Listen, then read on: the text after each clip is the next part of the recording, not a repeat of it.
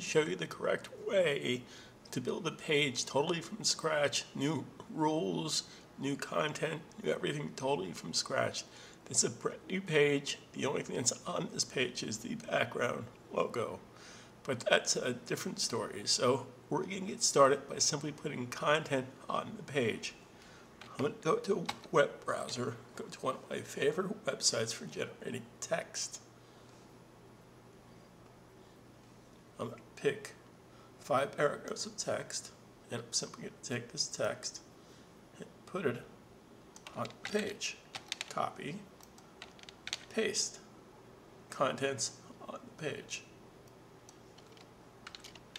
Okay, next I'm going to build some basic simple CSS rules starting with the body tag, paragraph tag, a couple of H tags, etc., etc.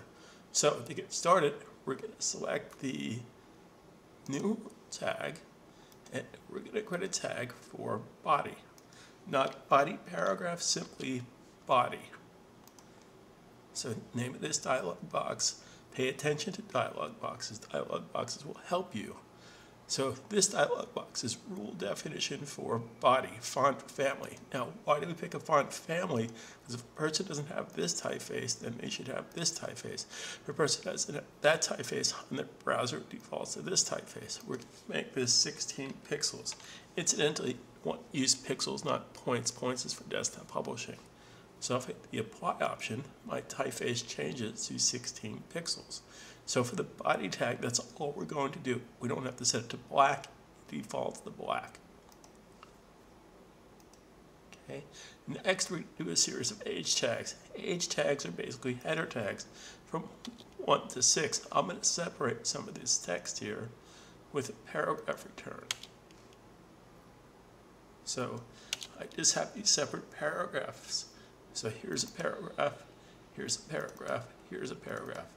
Now, H tags, which are also known as header tags, from H1 to H6 are per paragraph. So I don't have to select the paragraph. Just have to put my cursor inside the paragraph. The shortcut for this, this is on the bottom of the property palette, but the shortcut for this is simply select the tag, put your cursor inside the paragraph, put your cursor inside the paragraph, and basically go to H1. That's a header tag for that particular paragraph. That done in the property palette, but the shortcut is very simple. So if I put my cursor here, I can hit Command 1 for header 1, Command 2, header 2, Command 3, header 3, Command 4, header 4. On Windows, it's Control 1, Control 2, Control 3, all the way to 6. 6 is the smallest, 1 is the biggest. So this is header 1. I'm going to make this paragraph Command 2, header 2. I'm going to make this paragraph header 3, Command 3 make a change, save a change. To get into. Now, I don't have any rules for these tags. So these are my default paragraph tags. So I'm going to select the tag, select the H1 tag, and make a rule. I'm going to make a rule for that paragraph tag. So we're going to go down here to compound and select H1 less specific. H1 inside the body tag. Everything's inside the body tag, but I don't want it to say body header 1, body header 2. I just wanted to see H2. Now, we're not going to change the font family. We're simply going to change the size to 22 pixels, make it purple, and uppercase. So this header tag is now purple in uppercase. So I'm going to select this header tag, which is H2, select the tag, make rule. Select the tag, make a rule. So this header tag rule is going to be less specific H2. H2 is going to be 18 pixels. It's going to be capitalized and it's going to be burned orange. So there's header 2 header 3, we're just going to leave header 3 the same default color, but header 3 will just be a different size. So we're going to make header 3 H3 less specific. H3 tag is simply going to be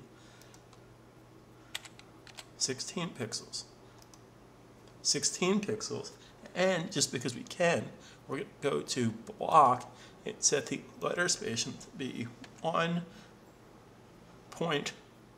1.15 em spaces. This is going to put space between the lines, space between the letters. So I hit OK, make a change, save a change. You would have to get it to make a change, save a change. Now, I have my basic HTML tags over here. Body tag, header tag, H1 tag, H2 tag. Now I'm going to insert an image. I'm going to put my cursor right here and right there, insert, insert, image. Now get way to some images. I'm basically bringing the image of a tree. This is for search engine purposes. I'm just going to put in my tree. There's a tree. Okay. Now, little trick here. I don't want to have to type in my tree every 10 seconds. So I can just copy the tree, paste it someplace else, say here, and paste another tree down here. Then simply double click. Double click, replace it with a tree. Double click, replace it with a tree. So now I have three trees. The advantage of that technique is I didn't have to retype in my tree for search engine purposes. They're all going to be titled my tree in the property palette down here. My tree, my tree. Make a change, save a change. Now, there's no formatting on this page per se. We haven't created div tags. We haven't created rules for the images. We're going to do that starting now. So we're going to select the body tag. Body tag is the entire page. Body tag selected, we're going to put the body tag inside a div tag called wrapper. Now, everything goes inside the wrapper. Body tag is inside wrapper. So now we're going to create a rule for the wrapper. Select the tag, make rule. Select the tag, and make a rule. So this is going to be called wrapper.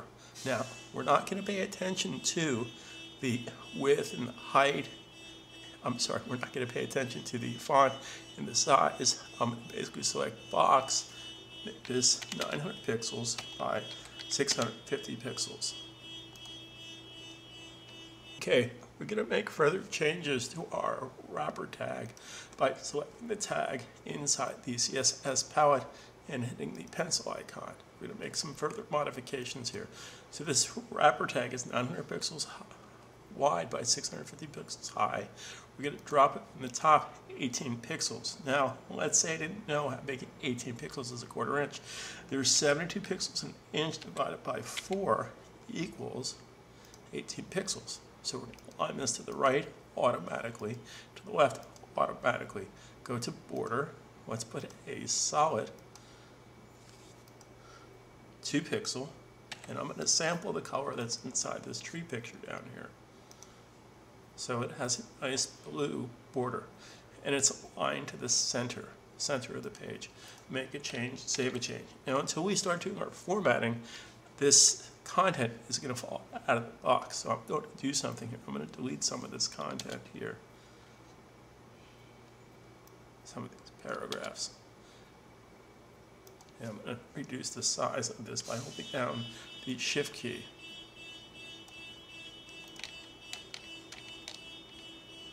Before we move forward, I want to share with you a very powerful technique here. The most important tag on here for the CSS rule is the asterisk tag. The asterisk tag, also known as universal tag, also known as a wildcard tag. We're going to create the asterisk tag to talk to all 92 HTML tags and set their default to zero. If I default from zero, zero makes sense. I can count from zero. But if I don't do that, each tag has its own default, which means the browser has their own default. So I want to avoid that from happening. So I'm going to come down here and totally from scratch, nothing selected. I'm going to simply go to compound and put it in asterisk tag. The asterisk tag is a universal tag. Shift 8. So, okay, I'm going to set the box parameters to 0, 0. Now, it's important to point out to you, anytime you see a blank box, blank box defaults to its parent tag. So don't confuse nothing with 0. 0 is a value. Nothing is empty empty boxes default to the parent div. So in this particular case, asterisk tag is actually the grandfather tag of the entire site. It set everything to zero. Notice that there's no space between my paragraphs now because the asterisk tag set that to zero. I don't want to have zero space between my paragraphs. So I'm simply going to make a paragraph tag. Paragraph tag is already created. I'm going to go to rule for the paragraph tag. Select the tag, make the rule. I'm just going to P for paragraph. P for paragraph for the entire site. So we're going to say at the bottom, because English is read from top to bottom, from bottom, we're going to do 1.5 em spaces. This way it's a flexible space, and em is equal to the height of the letter m. So this is going to be an em space. So now I have 1.5 m's between my paragraph. P for paragraph tag goes after the body tag. Make a change, save a change. Now, we're going to start building our div tags. So this is a very simple process. So you just moved off all your furniture into one room. Your furniture from the client is sitting on one page inside of one div tag. We're going to move those into separate tags in a very simple process. So we're going to select this content. We're going to put this content in a div tag. We're going to call the div tag branding. Then we're going to put the remaining content in a div tag called main content. So from here down, this goes inside of a div tag called main content, which is camel cased. You capitalize the second, third, fourth word.